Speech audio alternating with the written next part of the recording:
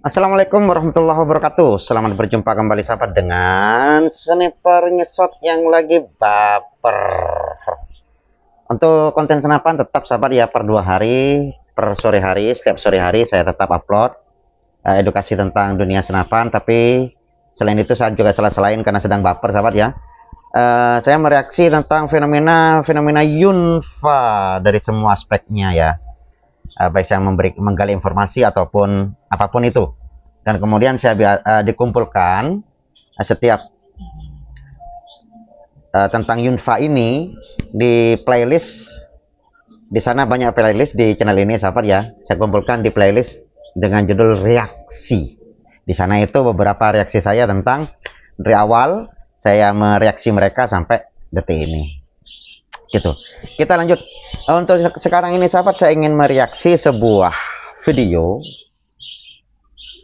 TikTok yang aslinya sudah tiga hari yang lalu yaitu rencana Papi Tom dengan Pak Rete, Pak RT tentang dia akan mempertemukan Mas Yun dengan Bunda Fauzana dan juga rencana Pak RT untuk kawin lagi untuk poligami Dan nanti kita akan diskusikan sahabat ya di akhir di akhir videonya kita akan diskusikan, kita ngobrol di laman komentar gimana pendapat sahabat dan sebagainya.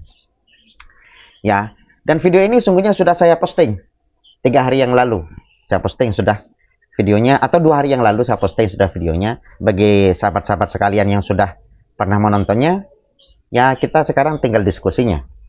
Ayo, kita tonton saja yuk. Gas, gas, gas, gas, gas. Sampai niku jangan dijak meneng-menengan Pak RT nang Jakarta ku gak kondo-kondo kok dhewe. Eh Pak RT. Dalam. Berarti lek ono gak sidone iku nang Jakarta sampean lu tanggung jawab berarti. Itu belum ada konfirmasi loh, Bi. Eh, Seret. sampean ini gak awak dhewe ketemu nang Surabaya. Nggih. Lah terus sampean berangkat kok budal? Lek kula manut, Bi. Lho ngene lho. Ngene lho kok lanang rek ya Allah ya Allah. Jar wis sampean. Lho iki WA aku ojo jarak kene jarak iki WA iki. Aduh. Ya napa Pak RT Untuk Bi, kula nderek info mawon saestu. Papi ganteng, sayangku, cintaku, I love you. Aduh, yuk Pak RT. Eh, Andin, Andin, Din, Andin. Yang kamu bikin sayang sama Pak RT itu apa? Yang bikin kamu cinta itu apa? kesederhanaannya Pak RT itu loh. Oh iya tahu.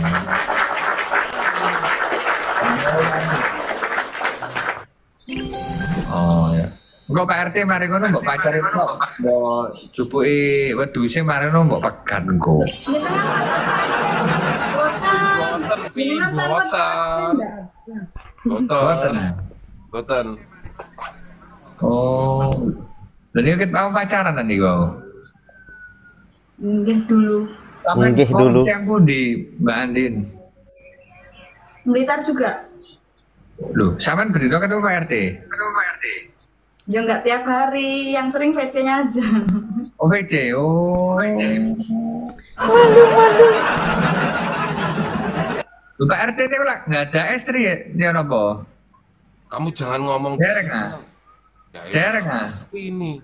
Loh kalau itu udah Pak RT aja yang ngomong kalau istrinya. Oh udah ini berarti apa diperbolehkan gitu berarti? Insya Allah seperti itu. Oh. Kemarin itu pernah di Bi.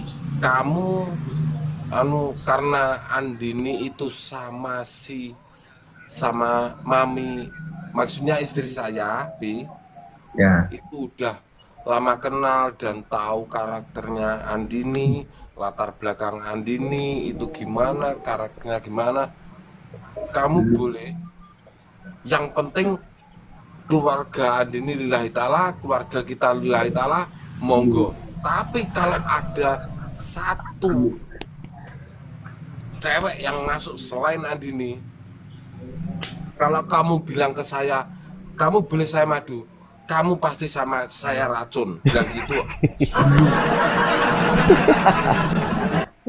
Lu. Sowanger. Oh, lu oleh berarti ngene iki. Lu. Angsal Pi. yang penting bener bener ngapunten. Konteksnya konteksnya bener-bener klop. Dalam arti gini. Siap siap umpama umpama pihak keluarga saya harus real bener-bener Siap, siap, siap. merestui dengan Andini.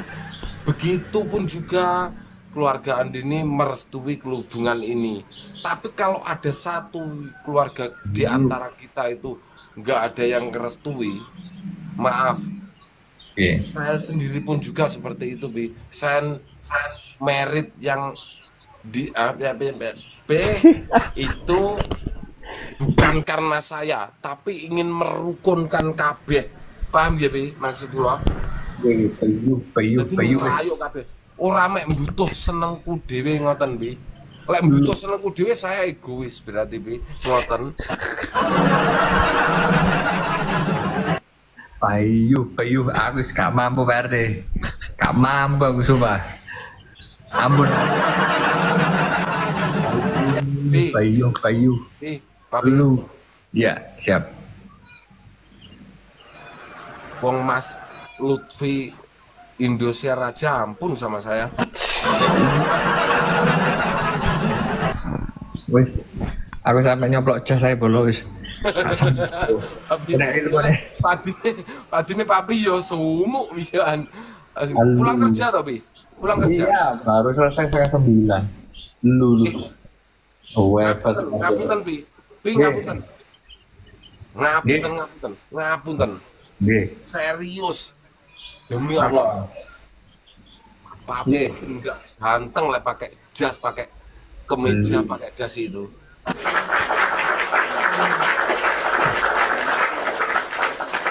Banget Pak RT aku wis. Lu. Engko iya nek nuru kok kayak ngono ya apa? Pi, Tapi Iya, iya, iya. ini saya sadar diri juga kalau Oh, iya, ini pun konteksnya sebenarnya bukan memberi contoh bukan Oh, iya, iya. memberi contoh tapi ini contoh yang tidak baik buat panjenengan semuanya tapi kalau kita ngomongkan urusan hat to hat pipi pipi aku jangan Eh, Payu, payu, payu, payu. Lu. Dan lu. Coba kan bujaga cinta Pak RT. Coba Pak RT, eh, coba apa yang membuat Pak RT emang tertarik sama Andin ini apa emang? gini yang setahu saya pi setahu saya selama mengenal sosok Andini itu bareng eh, kilo saya perkenalkan istri saya. Kilo Andini ini masa lalu saya ini bla bla terus mengenal dia satu gak sombong. Dua wonge bla terbuka. Wis iki lho aku lek kowe gelem nampa yo iki ora gelem yo iki wis opo anane gitu wi terus nggak cenceng ruweng nggak banyak kuah gitu seperti itu wi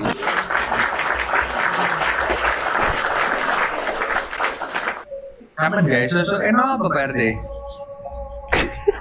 kok susuk Lah pene. Susu e kuat ini gue. Apa? Niku, napa cangkem ini gue. Maksudnya kayak hebat ya ngomongnya.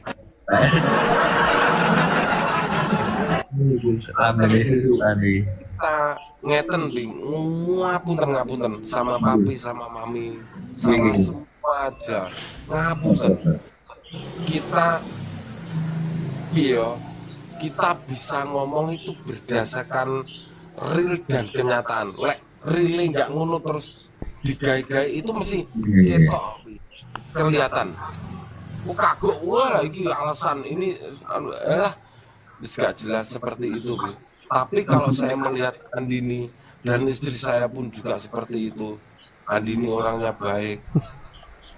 Dan istri saya pun nggak sehari nggak ditelepon sama Andini. Kenapa toh? Anu ya kok Andini nggak telepon aku? Bilang gitu. Lo nggak tahu Tommy aku bilang gitu. Tapi habis habis pelantikan ya.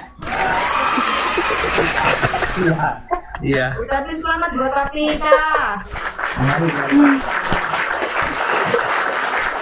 Sukses terus buat. Oh, makan berarti. Cabut. Aku ampun wis. Bayu, bayu, bayu. Tak aku wis. Lu.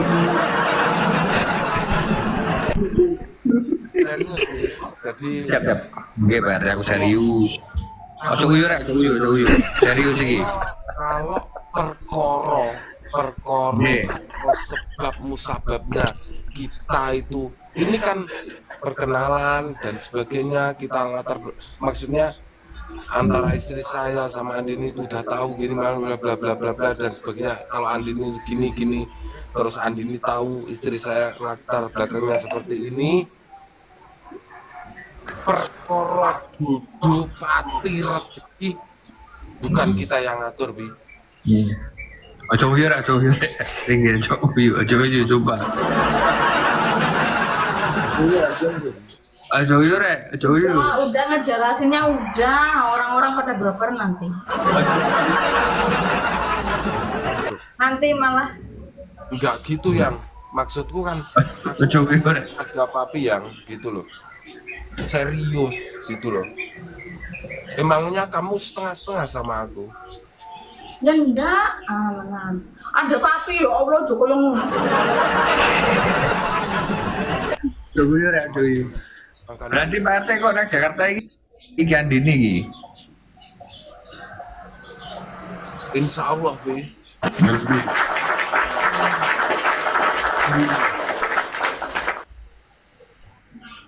Ya, ayo. Ya, saya. Oke, teman-teman. Papi, Jadi- bentar dulu, bentar. Papi Ya, mesti apa? ya, ya, ya, ya, ya, ya, ya, pripun? Anu, gini, saya pernah lihat fitinya, fiti apa nih papi ya? Atau apa ya? Sing lagu barat itu lebih. Nah, Jadi setiap pap ada Viti itu lewat di beranda saya itu langsung teringat sama Andini gitu. Apa itu? Like to my to see. La la la la la la la li. Gila. Lagunya siapa itu, Bi?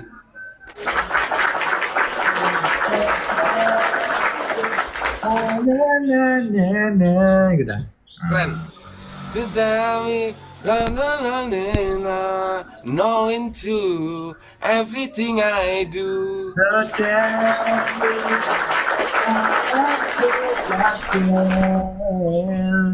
So tell me Pak RT Katen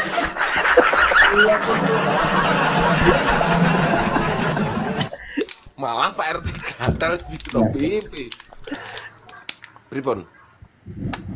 Ya wis rek intinya Oh, papi nggak, papi mau mau rehat itu. Ya ya ya. kalau intinya kalau misal pengen ngerti kapan Iyun datangnya ke sini pakai apa Pak RT lah solusinya sama Andini. Coba tanyakan teman-teman ya. Oke, tanyakan Pak RT sekarang.